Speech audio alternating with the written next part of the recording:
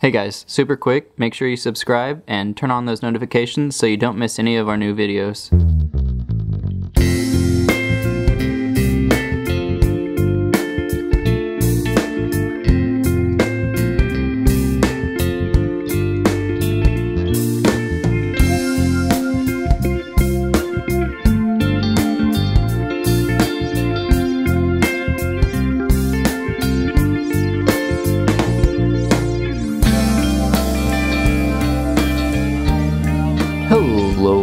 Everybody, welcome back to the St. Louis Car Museum.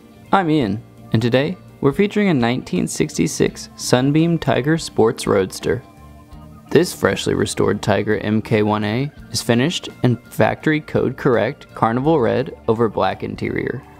It has an all numbers matching and fully documented Sunbeam Tiger Owners Association certificate of authenticity and a fully rebuilt 260 cubic inch V8 engine.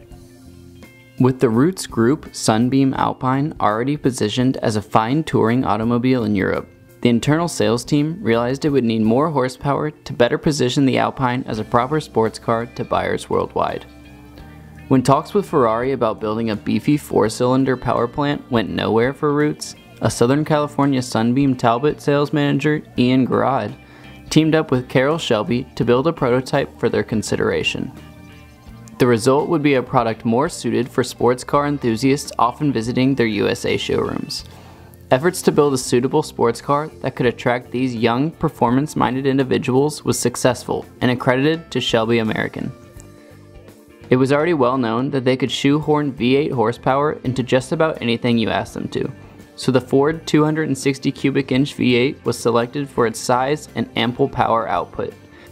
It was tucked into the small English chassis with only a few refinements to the engine bay and firewall, and a baby Cobra was born with the official name Sunbeam Tiger.